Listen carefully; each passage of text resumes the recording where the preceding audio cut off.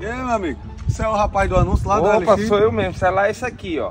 Vixe, Mário. É. Trinco da bexiga na tela. Não, é por isso que eu ofereci barato, né? Botei lá 3,200, mas eu lhe dou por 3. E tem um detalhe também, a bateria tá 60%, viu? Ave Mário, tanto que eu vou gastar, sabe que não é todo mundo que mexe nessa tela, né? Que é isso, em qualquer canto os caras ajeitam isso aí. Só uma tela dessa é mais de mil conto, bicho. Dá certo não, mano. Fazer o seguinte, eu dou por 2,800. Nem eu, nem você. Eu vou pagar 2,200, porque a dor de cabeça que eu vou ter com esse celular aqui, né? Ah, pois fechou. Essa tela e a bateria, tu quer original ou similar? Não, tu não consegue trocar só o vidro, não.